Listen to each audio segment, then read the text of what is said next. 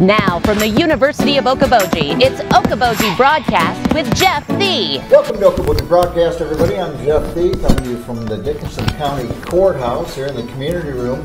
And I'm talking today, I have from the Dickinson County Sheriff's Office, Deputy Josh Roberts, and from the Milford Police Department, I have Keaton Verner. Welcome, guys. Thanks for being here with me. Thanks for having Thank us. you. We are at that point of the year. In fact, we are starting now with uh, with school beginning here, and so we're, we wanted to take a moment to talk about safety for, for school buses during this time of the year. You know, we take a, a summer off, and, and sometimes people believe, uh, forget kind of the basics, or even you got new drivers who haven't had to face it. And so let's talk about First of all, how important it is, and, and some of the, the violations that you guys see of people with school buses as they're stopped and so forth. Whoever wants to go first. Yeah, so it is a it's a very um, easy thing to forget. Um, however, it's probably one of the most important things you can't forget.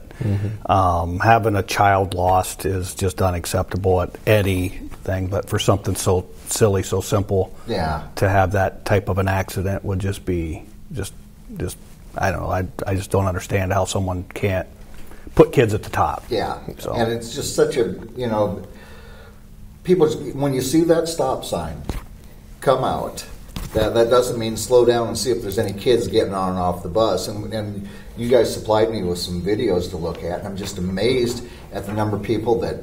You know, they, they do start to do the right thing. They they Yeah. they touch their brakes and they slow down. And they kind of look to see if there's any kids coming onto the bus or getting off, and then they slide on through, which is against the law. Yep.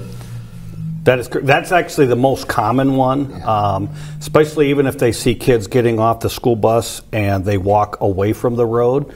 They still think we've seen several times people go over on the shoulder and think it's okay to pass. Yeah. It's still not okay to pass. Yeah, exactly. Yes.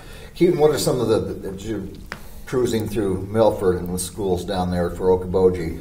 What, what are you seeing during the school year that, uh, Um, I th- the biggest thing I'm seeing is after school hours. I Okay. think that's where a lot of most a majority of our violations are coming through. Um, you know, we do get some in the mornings, um, but you know, you get towards the end of the school day, there you get those kids that are eager to get home, and they just they don't they don't pay attention, um, and they just they just don't care. we, and you bring up an important point because, you know, a lot of elementary school students, and they're in a hurry. That, you know, they're not noticing if there's any traffic that is not paying attention, and all they know is they want to get from point A to point B, and boom, they go. And if you're not paying attention and coming to that complete stop and waiting for the bus to complete its business, that's when problems begin. That's absolutely right. And, you know, even just located by our high school in town, we have a daycare that's just a block uh, to the east there. Yes. And they have a bus stop there. And, you know, just last year alone, we had just a few um, violations just right there. Yeah. Um, and it's it's a danger zone because you have the daycare and then you have a park right across the street. Right. So you have kids going in both directions. Yeah. Um, and I know, and just off my mind, there's the, one of the videos I supplied you. A car came up, kind of stopped, slowed down, and they're like, "Well, no, they're going into the daycare. They're not thinking about the park that's over here." Right. And so they went right through, and Yeah. so And as we- we're taping here today, this morning, we had very heavy fog, and you know we're going to see that here in the early fall as we get closer and closer to winter, and you know that takes away obviously visibility.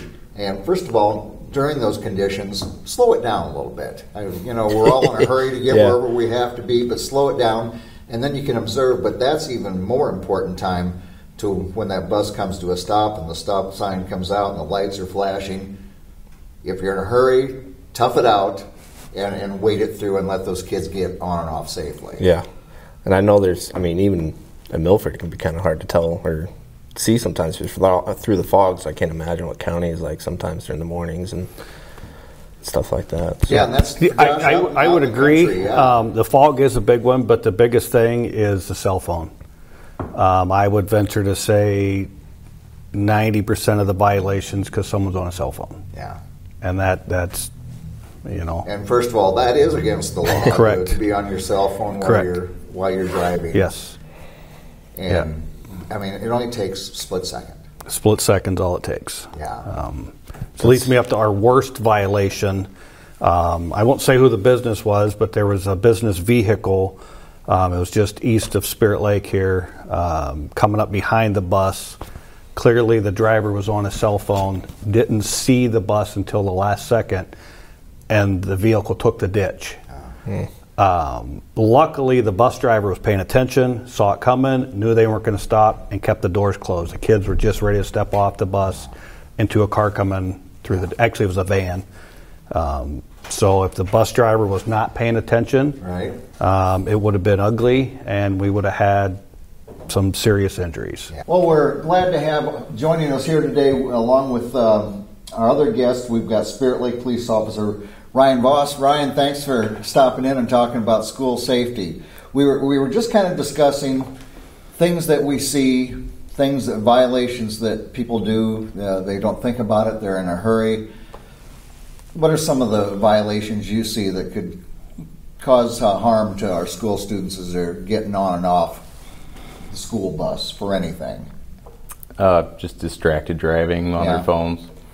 Pretty common one. Well, for our, our school officers uh, with uh, Ryan and Keaton, uh, I know that Spirit Lakes had officers in the school for quite some time, and, and, and you had said you'd been there just last year was your Yeah, first this, year. This is my second year. Okay. Yep. Well, let's talk about some of the benefits of that. You know, having a, an officer in the school, not only security, but I think there's an opportunity, uh, much like the DARE program that uh, Greg Baloun does. You know, you're in the school, you're talking to the kids, you become a real person. You know, you're not just a, well, that's an officer. It's a real person. It's someone you can bond with. And what are some of the benefits of being there in the, the school system? Why don't, why don't we start with you?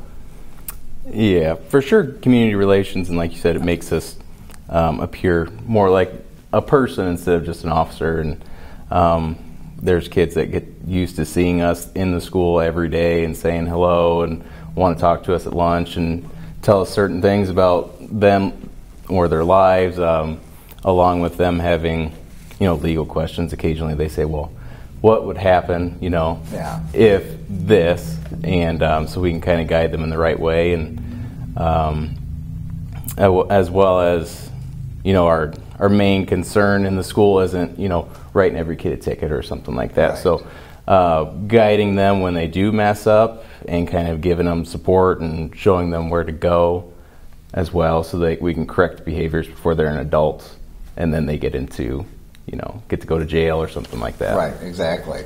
And how about for you in Milford? I think the biggest thing that stuck out to me was what you just said was us showing that we're real people. Yeah. Right. Um, you know, last year being my first year, there were, was obviously a change for Okoboji. You know, kids weren't used to it. Um, so I started off the school year with, you know, some kids having no interest and wanted to uh, speak to the school cop. You know, but as, the as the year went by, towards the end of the year, those kids really opened up to me, and not just, I mean, not just me, but to the department. Yeah.